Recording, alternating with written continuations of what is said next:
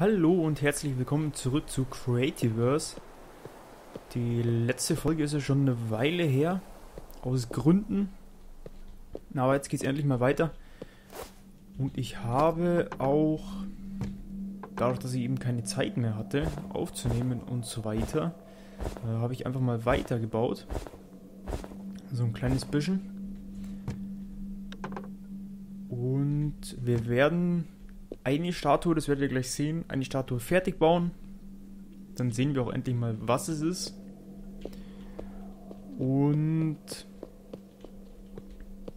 ich habe eine zweite Statue, sieht man auch schon, da habe ich ein bisschen was vorbereitet. Wieder ein bisschen Steine gesammelt. Hier auch schon ein bisschen was gemacht.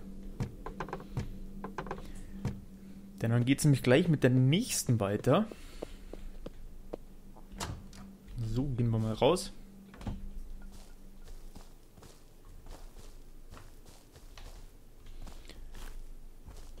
Und man sieht schon, der Kopf ist oben. Der Kopf ist auch fertig. Es fehlt eigentlich nur noch das T-Shirt. Weil da war das Problem mit dem mit den Teerklötzen. Bis jetzt brauchte man, glaube ich, vier Fossilien und jetzt braucht man nur noch zwei. Also das war das war relativ viel. Und Fossilien, ich habe den ganzen die ganze Gegend hier umgegraben. Da unten sieht man es um die Fossilien zu finden. Ich hoffe, es reicht jetzt auch, was ich hier habe an schwarzen Steinen. Ich meine, ich habe, glaube ich, nochmal irgendwo so schwarze Blöcke, aber ich weiß gerade nicht wo. So, wenn wir hier reingehen, dann kommen wir einmal in das Haus. Und da sind wir jetzt auf dem Kopf hier als Haare habe ich hier einfach die Stalaktiten genommen. Sieht dann fast so aus wie Haare. Und da sieht man auch schon das nächste Projekt dann. Die nächste Statue. Und man sieht auch schon eine kleine Anzeige über dem Lebensbalken. Die füllt sich langsam. Es wird hier nämlich oben relativ kalt, da ich schon recht hoch bin. Ich kann ja mal runterschauen. So C. Übrigens, wenn man C drückt, kann man nicht mehr runterfallen. Dann kann man ganz an die Kante hingehen. Man kann nicht runterfallen. Das ist eigentlich ganz gut. Vor allem, wenn man so hohe Bauten macht. Also, hier geht schon weit runter. Und deshalb ist hier auch etwas kalt. So, und jetzt sind wir im Inneren. Im Inneren des Kopfes nämlich. Hier stehen so ein paar Tische. Da hängt The Brain. Da unten muss ich noch fertig machen. Dann gehen wir jetzt nämlich gleich raus. Und das hier sind die Augen. Kann man rausschauen. Und von außen sieht das ein bisschen strange vielleicht aus, weil das Weiße eigentlich hier reingehört, wo das Glas ist. Aber es ist nun mal so, da ich hier Fenster haben wollte, zum Rausschauen muss ich das Weiße irgendwie den Hintergrund machen, dass es dann so aussieht, als ob so, es ist schon wieder arschkalt, den Typen friert schon wieder. Dann gehen wir mal hier runter. So. Ja, wir gehen mal runter. Machen wir die Schulter dann zum Schluss, das... So. Weil bis hierher hab, hatte ich schon nur bis jetzt war das, mit, wie gesagt, mit dem Teer immer ein bisschen schwierig. Und deshalb war eigentlich das das Letzte, was ich noch machen wollte.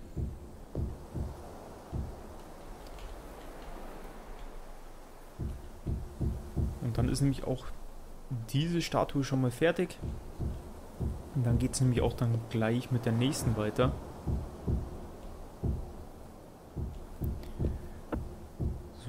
Machen wir denn? Machen wir mal bis hierhin.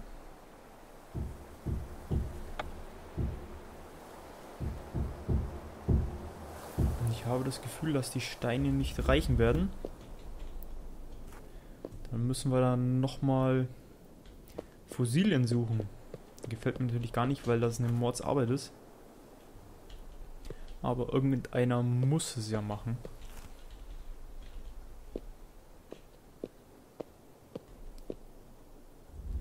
So, da. Auf der Rückseite waren wir auch noch nicht. Da können wir noch runter. Und da sieht man schon, es hat die gleiche Größe. Die Statue nebenan. Nur eben dann eine andere Person.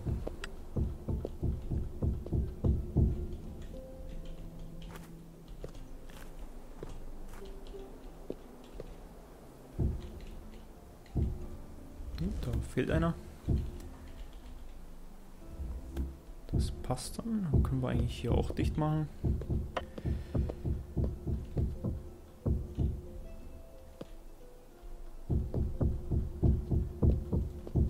Und die Steine könnten sogar reichen, wenn es oben auf der Schulter, weiß ich noch nicht, da müssten wir durch den Kopf dann rausgehen.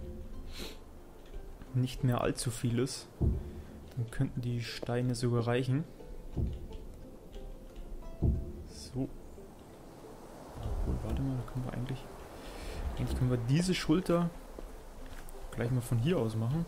Ja, dann muss ich nicht mehr hier durch den, die, durch den Seitenkopf hier rausbohren. Und zum Schluss finde ich dann die Steine wieder nicht mehr.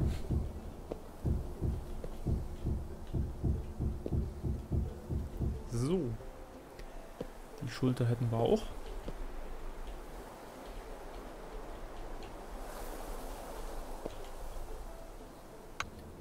hier, dann brauchen wir hier einen, hier einen.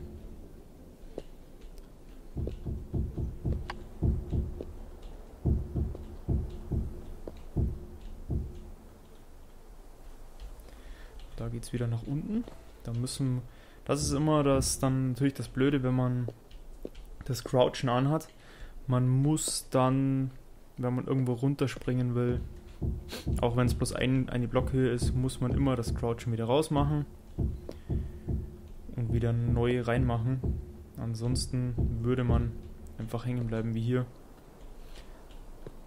Das ist leider ein bisschen blöd gemacht, aber naja, man kann damit leben.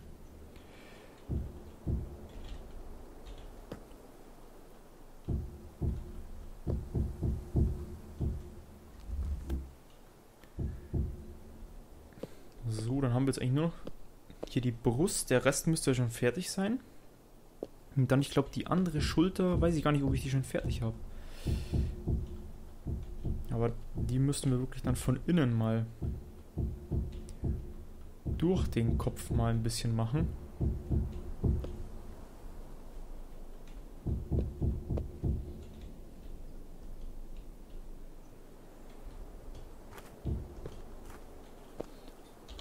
So, da müssen wir ein bisschen hüpfen.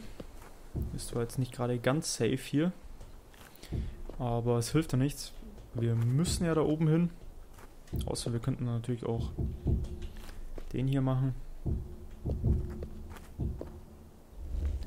Wäre vielleicht sogar ein bisschen einfacher. Dann können wir das hier auch wegmachen, weil das ist ja nur quasi mein Aufstieg bis jetzt gewesen.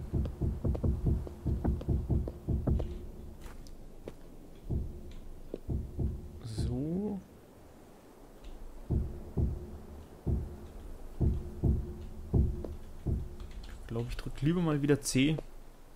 Denn ansonsten könnte es schnell nach unten gehen. Und vor allem hoffe ich jetzt, dass ich wirklich keinen Stein vergessen habe, weil wenn jetzt mittendrin einfach mal ein schwarzer Stein fehlen würde, dann würde man da ein graues Loch sehen. Und das wäre natürlich extrem uncool. Denn ich habe bei der anderen Statue, die wo ich schon vorbereitet habe, das ist ja der innere Kern aus Stein. Und da hatte ich das Problem, ich habe mich vermessen. Und dann war nämlich äh, die Sache so, ich musste dann halt irgendwie an der Statue nochmal runterbauen, dass ich irgendwie da hinkomme. So. Äh, Moment. Natürlich habe ich keinen Stein mehr dabei. Mal schauen, wie wir hier am besten nach oben kommen. So und so müsste es gehen. Die Laterne nehmen wir mal mit. Gehen wir mal hier raus. Hier muss ich dann noch mit Steinen auffüllen und den Boden zumachen. Aber als erstes müsste ich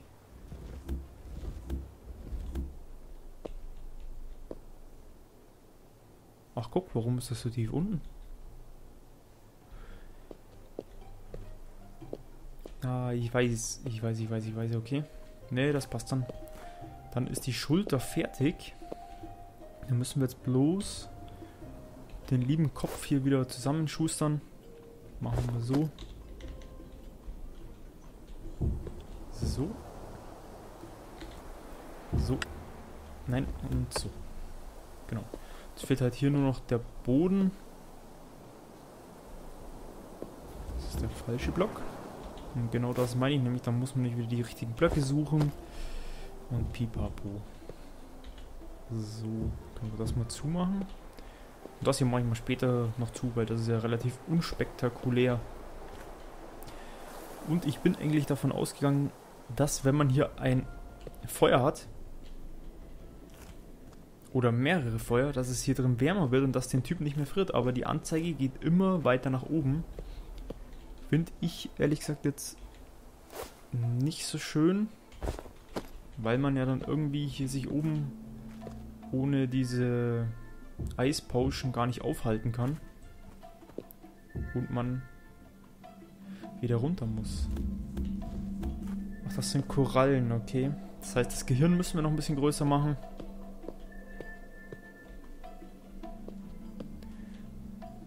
Dass das nicht ganz so jämmerlich und verkümmert aussieht. Und dann würde ich mal sagen, wir schauen uns das Ganze mal von außen an. Sind wir wieder hier. Und da sehe ich auch schon Gehirn. Das können wir, können wir mitnehmen. Also eigentlich ist ja kein Gehirn, das sind ja Korallenblöcke. Aber wir zweckentfremden die einfach mal als Gehirn. Und ihr seht schon, hier habe ich noch ein bisschen was gegraben weil ich habe was gesucht. Und dann habe ich hier ein bisschen gewütet. Und deshalb sieht das hier alles gerade so ein bisschen zerpflückt aus. So, jetzt muss ich mal schauen. Da ist mein Aufgang. Und ihr seht schon, hier sind überall Löcher drin. Hier habe ich überall so Probebohrungen gemacht, ob nicht irgendwo Fossilien kommen. Und das geht einmal ringsrum. Ich habe hier die ganzen Stalaktiten rausgesammelt. Hier, das ist auch alles tiefer. Hier sind überall die Löcher drin. Ich habe auch noch ein paar Höhlen außerhalb vom, von der Gegend hier mal untersucht. Und habe dann eben dort auch nach Fossilien gesucht. Und da bin ich sogar fündig geworden. Aber mittlerweile gibt es hier fast nichts mehr. So, es ist fast 8 Uhr abends. Die Monster kommen raus. Dann würde ich mal sagen, dann lege ich mich mal schnell pennen, denn das ist jetzt auch äh, relativ neu. Oder relativ neu, das gibt es schon seit zwei Updates, glaube ich. Dass man, wenn man sich ins Bett legt, ich mach das mal. Das ist dann, glaube ich, fünf Stunden oder so. Wird dann die Zeit vorgedreht. Ja, nicht ganz, waren jetzt zwei Stunden. Aber wenn ich jetzt nochmal schlafen gehe, dann müsste es, glaube ich, 5 Uhr morgens sein. Genau. Und ihr seht schon, dann steht unten immer eine Serverbenachrichtigung, dass ich jetzt quasi schlafen gegangen bin. Und das ist ganz wichtig, wenn man mit Freunden spielt, um die Zeit dann quasi vorzudrehen, müssen sich alle Spieler schlafen legen. Ansonsten funktioniert das Ganze nicht. So, hier waren wir schon. Hier waren wir auch schon. Sind wir wieder hier. So, genau. Hier will ich hin. Also wie gesagt, wenn, wenn man die Zeit mit Freunden vordrehen will, müssen sich wirklich alle schlafen legen und dann wird die Liste natürlich länger, dass sich alle, jeder Spieler schlafen gelegt hat und dann geht erst die Zeit nach vorne. So. Ich guck mal noch nicht hin. Obwohl, man hat es ja wahrscheinlich eh schon erkannt, was das sein soll oder wer das sein soll. So, da ist er. Tja, Die eine oder andere kennt es vielleicht. Das ist nämlich ein Minecraft-Charakter und zwar der Minecraft-Charakter von dem lieben Gregor Onk, dem Gronk. Kennt vielleicht der eine oder andere. Und genau so sieht der Minecraft-Charakter aus. Ich habe mir da mal die Skins, kann man mittlerweile werden die von manchen Leuten so nachgezeichnet und kann man die dann sich anschauen und da gab es eben so eine 360 Grad Ansicht und deshalb konnte ich das jetzt auch so eigentlich auf den Pixel genau bauen. Ich habe halt nur die Pixel genommen von der Figur und habe die dann mal, ich glaube, jeden Pixel mal 4 oder mal 2 genommen, dass das Ganze dann passt. Ich glaube mal 2, weil der Bart ist im, im Original immer ein Pixel und ich habe dann halt zwei Klötze draus gemacht, also im Sinne eigentlich zwei Pixel. Tja, und das ist, war das Projekt, das ist der liebe Gronk. Und hier kommt ja dann auch schon das nächste Projekt dann. Denn ich werde das jetzt so ein bisschen weitermachen. Immer mal wieder so Minecraft-Charaktere nachbauen von, von YouTubern und vielleicht auch von anderen Leuten. Und Vielleicht werde ich auch einfach mal andere Leute wie, was weiß ich, C, D, Y, X, Z Promis nachbauen. Aber das ist halt immer relativ schwierig, weil es ja da keine wirkliche Vorlage gibt. Und bei Minecraft ist halt die Vorlage einfach Pixelgrafik. Und das ist halt einfach tausendmal leichter nachzubauen als jetzt zum Beispiel, was weiß ich, ein, ein Oliver Kahn oder irgendwas. Aber zurück zum Thema. Das hier wird der Minecraft-Charakter von, ich glaube, Pandoria war es. Und zwar mit dem Skin aus dem einem Let's Play, das sie vor kurzem gemacht hat. Äh, ich glaube Silent Hill.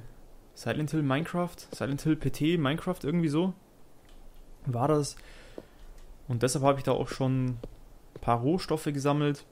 Und das wird halt das nächste Projekt. Ich werde dann auf jeden Fall auch noch, äh, glaube ich, von Turbinator LP, kennt vielleicht auch der eine oder andere, werde ich den Minecraft-Charakter nachbauen. Und dann muss ich mal schauen, wie ich irgendwie an die an Vorlagen komme. Wen es da noch gibt, weil es gibt ja einige YouTuber und Let's Player, die Minecraft spielen. Ich glaube Mafuyu, Unge, Dena und wie sie alle heißen. Und das werde ich jetzt nach und nach immer mal wieder so einen zusammenschustern. Kann natürlich auch sein, dass ich zum Beispiel die, den Grundstein, also den inneren Kern immer alleine mache im Offscreen, weil das ist ja eigentlich das, was eigentlich gar keinen interessiert, dass da einfach nur Stein drin ist und dann wird halt einfach nur die Hülle außenrum gelegt. Das ist ja relativ uncool. Und das werde ich dann vielleicht im Offscreen machen, aber die Verkleidungsarbeiten werde ich ja größtenteils wieder im Let's Play machen, außer es kommt mal wieder irgendwas dazwischen, dass ich mal wieder drei Jahre nicht aufnehmen kann oder so. Dann kann natürlich sein, dass das auch schon mal wieder weit ist und dass dann so wie heute einfach nur mal die Fertigstellung zu sehen ist. Aber ist ja glaube ich auch egal, weil Hauptsache das Gesamtwerk ist dann mal fertig und man sieht es dann auch. Und es war jetzt nicht gerade wenig Arbeit, das Ganze fertig zu machen. Und so sieht das Ganze von hinten aus. Also da sind auch keine Löcher drin, also ist das vollständig. Das passt dann schon, weil hier sieht man auch, habe ich ein Fundament gemacht, das habe ich auch noch verlängert. Das waren auch ein paar Stunden Arbeit, nur die Klötze zu sammeln. So, wie komme ich jetzt hier hoch? Machen wir mal so. Um das Fundament dann einfach größer zu machen, das muss ich jetzt nach hinten noch ziehen. Über den See drüber und das wird Richtung Süden. Also in die Richtung, wo ich jetzt gerade schaue. Wird das auch noch länger, weil ich weiß nicht, ob ich die alle in einer Reihe baue. Oder quasi so um das Haus rum dass sie dann alle so in Richtung von dem Haus schauen. Das weiß ich noch nicht, wie ich das mache. Ich glaube eher, das wird dann eine spontane Entscheidung. Aber auf jeden Fall, das ist der Gronk. Und ich sag Tschüss. Bis zum nächsten Mal. Ciao.